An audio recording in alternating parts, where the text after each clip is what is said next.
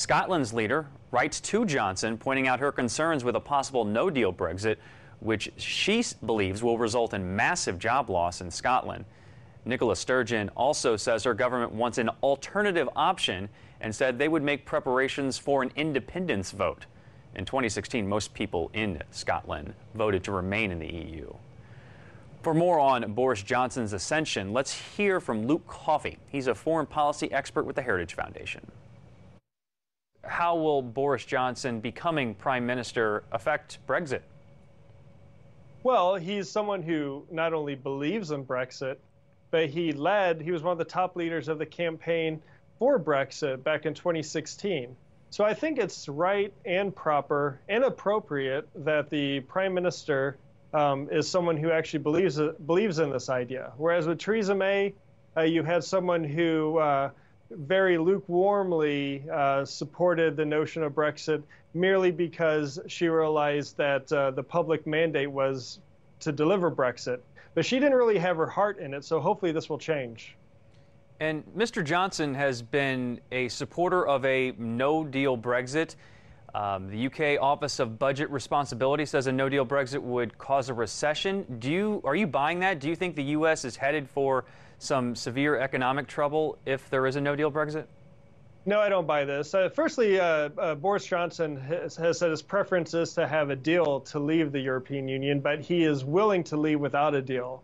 So I think it's good to have that threat on the table and for it to be a genuine threat. Because I remember when Theresa May said, no deal is better than a bad deal. Well, she delivered a bad deal and she wouldn't support no deal. But I think Boris Johnson will be treated with a bit more seriousness by his European Union counterparts because they know that he is in fact willing to leave the, the EU without a deal. In terms of these economic forecasts, look, I don't pay much attention to these. If you look at the official economic forecasts issued by the Treasury Department in, in the UK before the vote in 2016, it said that a vote to leave, so not, um, not, not leaving the EU, but merely a vote, would result in the, an immediate recession and the loss of 500,000 jobs.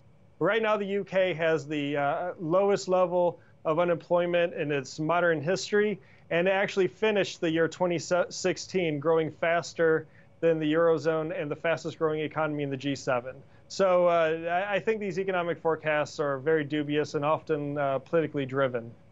Now, President Trump has praised Boris Johnson. He says he'll straighten out Brexit. How do you think uh, Johnson's appointment to prime minister will affect the U.S. UK relationship? Well, clearly, President Trump uh, takes a liking to Boris Johnson. And uh, often the two are compared together, but when when you look at the the two individuals separately, you see a lot of differences in their backgrounds and their upbringing and and uh, their worldview.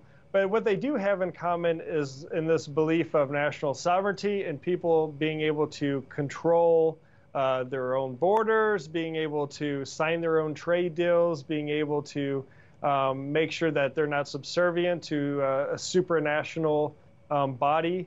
And also, I think one of the aspects about Boris Johnson that appeals to President Trump is that Boris did not go out of his way to constantly criticize President Trump uh, right after he was elected.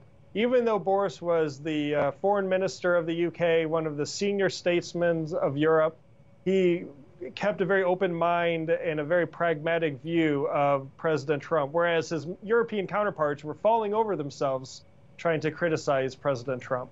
Luke Coffey of the Heritage Foundation, thanks for coming on and talking about this. I appreciate it. Yeah, thank you. Anytime.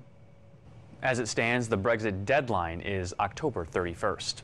It's Monday, so let's look ahead of some stories we're keeping an eye on this week. The U.S. and China are resuming trade talks in Shanghai, Beijing Tuesday. The trade dispute between the, the, two world powers has affected a number of industries, and analysts say it's left a dent in the American economy. There doesn't appear to be a resolution in sight. The dispute